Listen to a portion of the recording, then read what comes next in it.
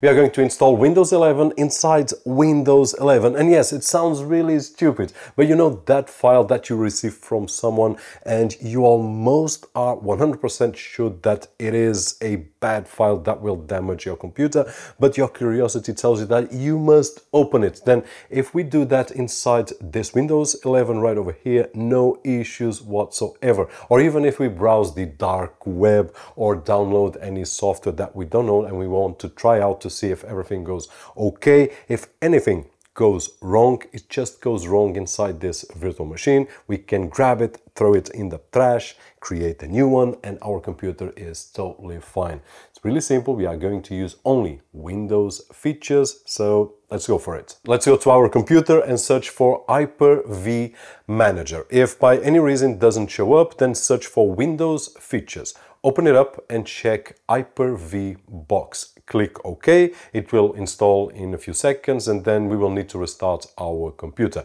After restarting, just search again for Hyper-V and you will have it there. You can open it up and we are ready to go. Now, before we create the virtual machine, we need to download Windows 11. We can go either to the official Microsoft website or we can use UUP dump, which I've shared with you in the past to get the latest version of Windows, which at this moment is 25 H2.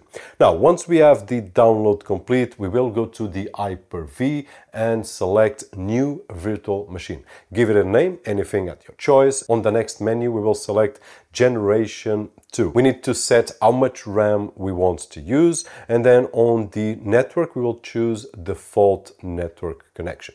Now, we need to choose the size of the virtual hard drive, and then pick the Windows 11 version that you did download. Now I've got both right over here, 24H2 and 25H2, but I'm testing a few things on the 25H2, so that's the one I'm going to select. Just press open and that is it. Now we need to click next and before we start the virtual machine, we need to go to settings and under security, just make sure to enable TPM, which is the Trusted Platform Module. This will avoid any compatibility issues or errors during the installation. And that is it. Now we just need to right click on the virtual machine, choose connect, and then click on start. And in a few seconds, the Windows 11 installer will start. Just follow the steps and in a few minutes we will have Windows 11 running inside Windows 11. Now, if there's any file that you want to test, an app that you are unsure about, or you just want to browse